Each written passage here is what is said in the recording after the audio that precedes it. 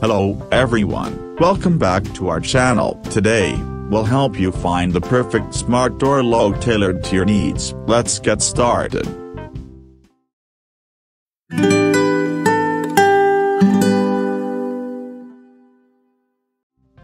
First, consider your connectivity preferences. Some smart door locks use Wi-Fi, while others rely on Bluetooth or Z-Wave. Think about which option aligns best with your lifestyle and existing devices.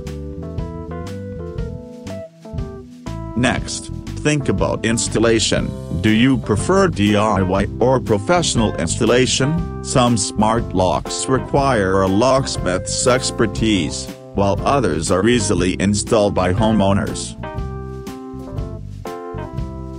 Now let's talk about access methods. Would you like a keypad with a unique passcode or perhaps you prefer unlocking your door with a fingerprint or through an app on your smartphone? Different smart locks offer different access options.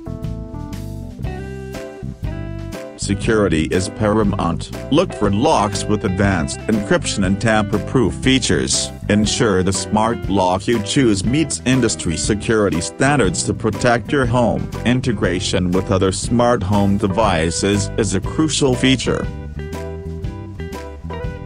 Check if it's compatible with your existing smart home ecosystem. Imagine the convenience of seamlessly integrating your lock with your voice assistant or security system. Battery life matters. Opt for a smart lock with a long-lasting battery and low battery alerts. Nobody wants to be unexpectedly locked out due to a dead battery. Consider durability and weather resistance. Your smart lock will be exposed to the elements, so choose one built to withstand harsh conditions.